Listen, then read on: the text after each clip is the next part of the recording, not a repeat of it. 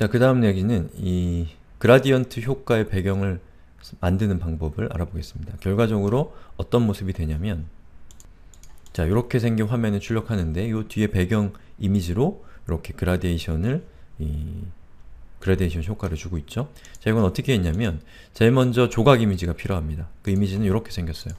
자, 여기 이미지가 너무 작아서 여러분들 잘 안 보실 안 보일 것 같은데 제가 특별히 포토샵을 열고서 저 조각 이미지를 만드는 모습을 보여드리겠습니다. 자, 이렇게 제가 캔버스를 하나 열었고요.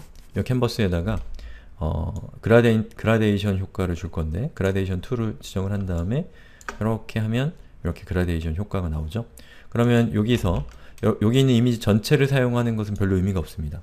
왜냐하면 용량도 커지고 그리고 우리한테는 어, background repeat 라고 하는 기능이 있기 때문에 이 이미지를 가장 최소화된 사이즈로만 만들어서 그것을 repeat 시키면 되기 때문에 repeat dash x 효과를 주면 되기 때문에 우리 요거를 가장 작은 단위로 쪼개면 되겠죠?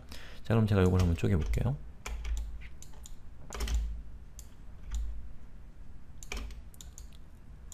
자 이렇게 한 다음에 1픽셀만큼 화면을 줄이고요.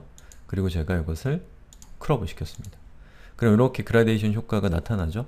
그 중에서 여기 하얀색, 하얀색 부분은 날려버리는 게 아무래도 용량이 역시나 주, 줄어들겠죠? 그래서 트림을 해서 이렇게 해서 OK를 해보면 밑에 하얀색 부분 그 색상이 포함되어 있지 않은 하얀 부분을 제가 날려버린 겁니다. 그럼 이것을 제가 저장을 하면 자 이렇게 요런, 요런 이미지가 만들어지는 자 그라, gradient.gif라는 파일을 만든 겁니다. 자 그럼 이 파일을 이용해서 이 배경 이미지를 한번 꾸며보도록 할게요. 자 JSPD를 통해서 예제를 한번 열어보겠습니다. 자, HTML은 Hello World라고 하는 텍스트가 찍혀 있는데 요거는 그냥 이 앞쪽에 뭔가 제가 텍스트를 심심해서 표현하기 위해서 이렇게 한 거고요.